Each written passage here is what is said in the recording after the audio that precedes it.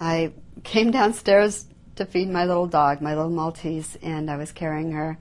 And uh, I happened to walk in front of the television that had the news on, and I'd been following this Jaycee Dugard case, especially since she had said they'd said um, a little girl uh, kidnapped from South Lake Tahoe in 1991, and you know South Lake Tahoe, that's where I was living, lived for a long time, and um, I was thinking, do I know her parents, or did I know, did I ever work with them or anything, and and that she had, you know, I had heard that she'd walked into a police station and got free of her captor, but of course that story later got um, turned around. But um, and then I heard they had a couple in custody. They were questioning, and I just happened to walk in front of the television when I heard the name Phillip Garrido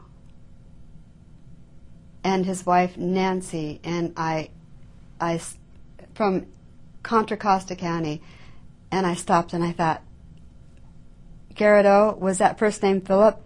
Contra Costa, that's where Pittsburg is. And I turned around and I saw his name, and I saw the picture they've been showing, and I and her, and I just I started, you know, yelling. She screamed Yeah. like you cannot believe, yelling my name. I was upstairs, and she screamed for me, Jim, Jim, Jim, as loud as she could scream. You got to come down here right now.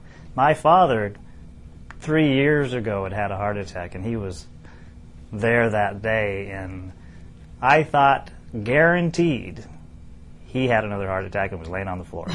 guaranteed, the way she was screaming. And I ran down there, and my heart was coming out. And then it was this. And I was I was horrified. I was horrified. I was shocked. I couldn't believe it. I couldn't. I just couldn't believe it. Oh, I was shaking for about four hours. I just couldn't stop shaking. And I was like, oh my God, I can't believe it. That's him. That's him. He did it. Look what he did. Oh my God, now he's going to go to prison forever. All these emotions going through me, and all this time my fears had been justified. I had a right to be afraid. I should have been afraid. And I'm so sorry that he got that little girl. I thought it was so disgusting that he had preyed on a child. You know, I never, I, he wasn't a registered pedophile, he was a sex offender, but I guess he decided to go for easier prey.